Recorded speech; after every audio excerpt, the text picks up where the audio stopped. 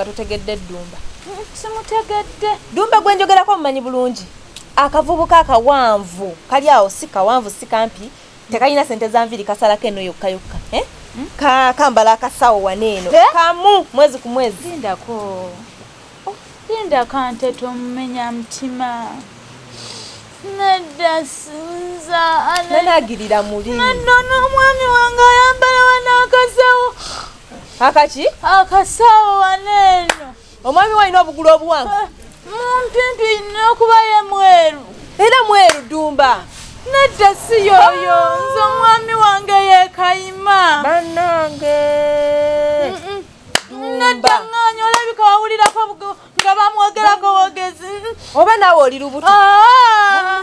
nange yoyo dumba dumba teri ayambala mbadde newuunyiza ku kyalo kuno teri mulenzi gwe sitamanyi teri yoyo dumba yeye nedubalira ku nsiko.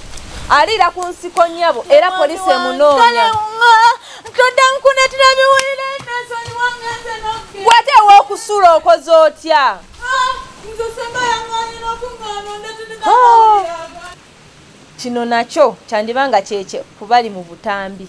Ayayaya ha! Ekyalo kyonna kiweddewo ng'ogjeeko nze. Maama maama yo.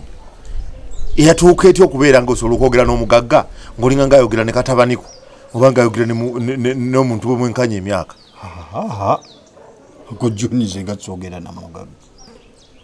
Eh, sogera na mugagga.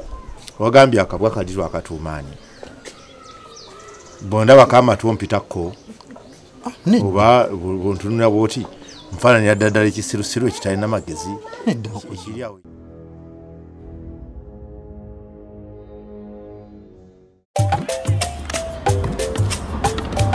lubega okola ki musana? Tunda byange bibino omusana gukwokyeza bwereere.